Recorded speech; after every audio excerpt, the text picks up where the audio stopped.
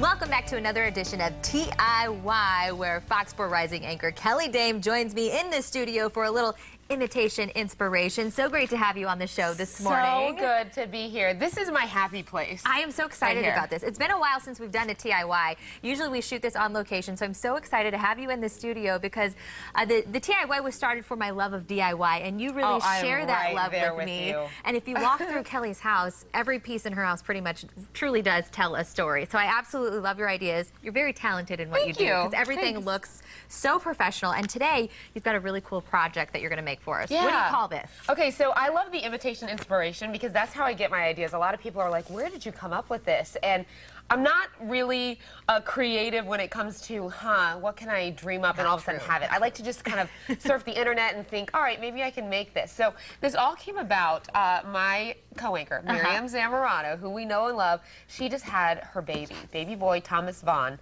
And so we were looking through stuff because she's got a plane theme for her Mm-hmm. nursery. And we were looking on the site Etsy. I saw this thing for 90 bucks and was like, And were like, uh, I can make this for 20.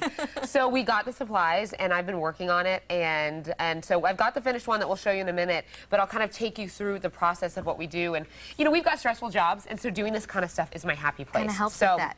And not to mention the pride that comes along with making Yeah. something yourself is incredible because you're kind of hanging that on your wall and you can walk through your house and be like, I made that. Well, and I love that you said this is what I tell everybody. Every piece has a story, and I think that that's so fun going through and taking pride in your house and what you put in there, and just a lot more Mm-hmm. Love in there. So. So let's show people how they can save some money. Okay, so first of all, what I did was I went to a uh, hardware store and I got a piece of wood, large piece of wood. Mm-hmm. They cut it there themselves, and I've got some tips for you. I'll, I'll get to that in just a minute. So it was cut in three pieces. You can get any size, really, Mm-hmm. and just as long as it's the size that you'll want that will fit in your home. And that is kind of a, a trendy thing that we're doing too, by the way, is that split panel image that you put on the wall. yeah, so this is going to be one image. The goal is this is one image kind of split into three. Are we able to get a shot of the finished product yet? Because I want to show everybody kind of what the goal is. Here's the finished piece right here.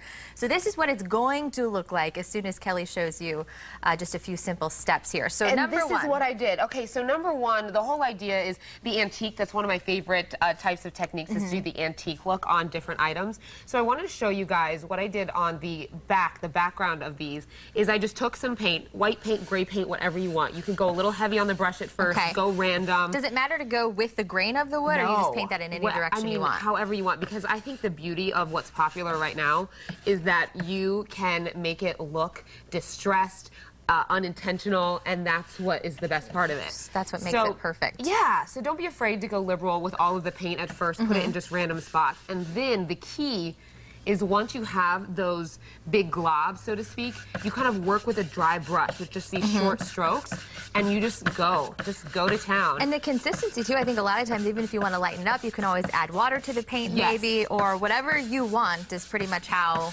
you make it look. And I think it's important to No rules. start uh, very timidly on your brushstrokes because obviously once you paint it and there's too much paint on there, it is harder to take it off. But again, you can add water like you said. Okay. But I just like to, like this is a little light, so I'll maybe add more paint there. Mm-hmm. Um, and then you just kind of blend it with that dry brush, add more paint, blend it, and go. And pretty soon you'll have an antique look. So once this is covered, and then I assume we wait for it to dry. Yeah. We move You- on to the next step. You wait for it to dry, then you've got a panel like this one that is already antiqued Mm-hmm. and ready to go. So then what I did, and the thing that makes this so easy is that this uh, painting is a bunch of lines. So I've used a lot of painter tape here to figure this out. There's one part here, don't freak out, We're okay? gonna brag on her for a minute. she This, said, "Don't freak out." I just free-handed the airplane portion, and really, you can see free-handed is a loose term because there are erase marks. There's already I had to erase and do this like three, four different times. So don't feel bad.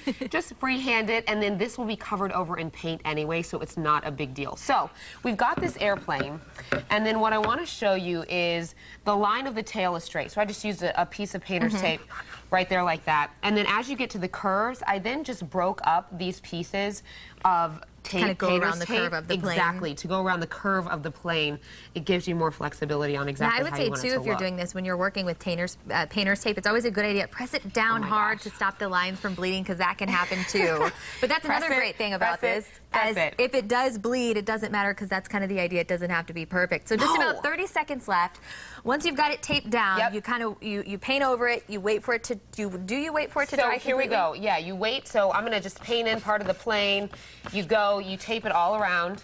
You do that. You wait for this to dry. While this is drying, then you can create the lines for this side and this side. Okay. Um, so I created one. I kind of eyeballed it.